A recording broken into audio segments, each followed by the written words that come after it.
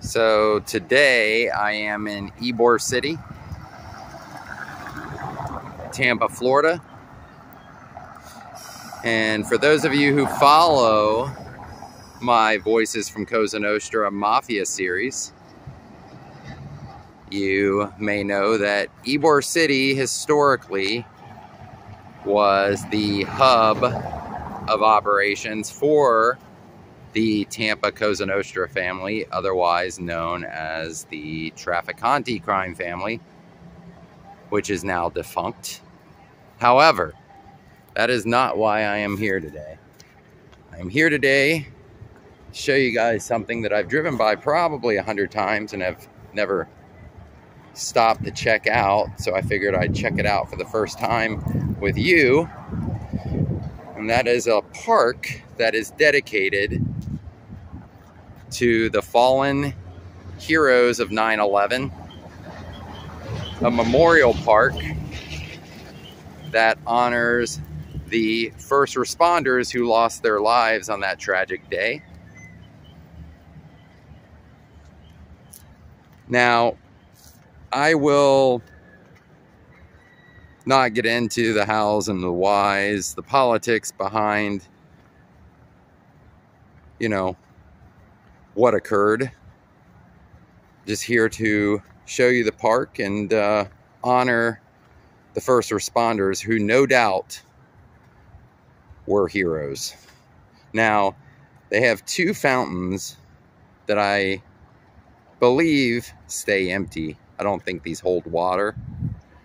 Um, that represent the foundations of each Trade Center building. This one is in memory of World Trade Center 1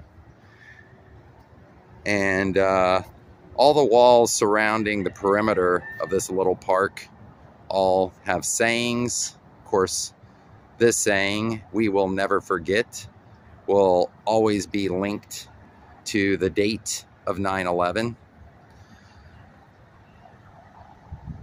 And here is the fountain for World Trade Center 2, which is the reason why I wanted to stop and show you guys this park.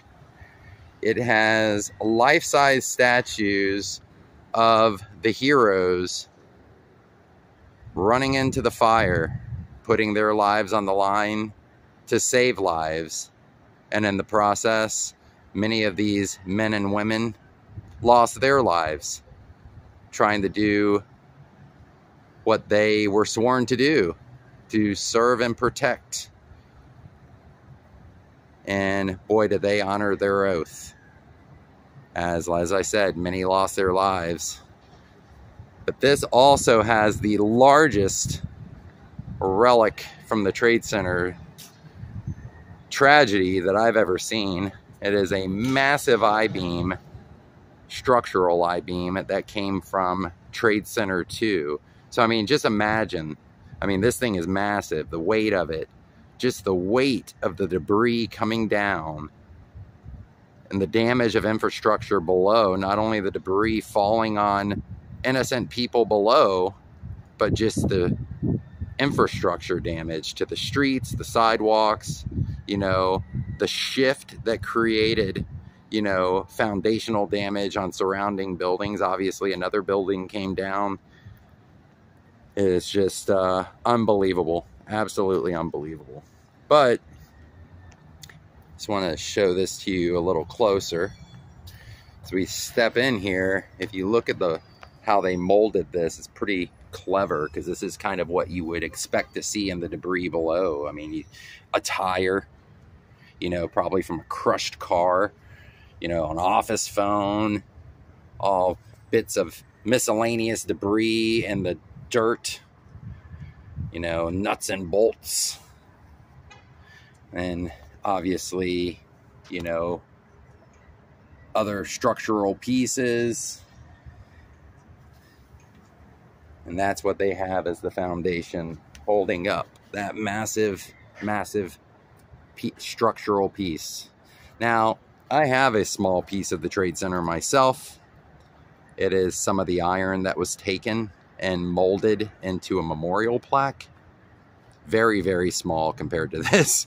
But, uh, you know, it's a very cool piece that I keep on my bookshelf in my office because look, no matter what your beliefs are of the hows and the whys behind 9 11, there is zero argument that these men and women who served to protect their community and the people of their community, no matter, you know, 100% did their job that day to do what they were sworn to do.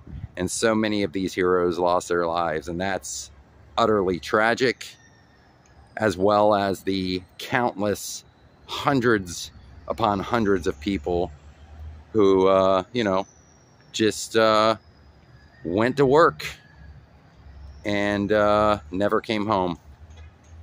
Very, very sad. Very sad. So anyway, just wanted to show you guys the park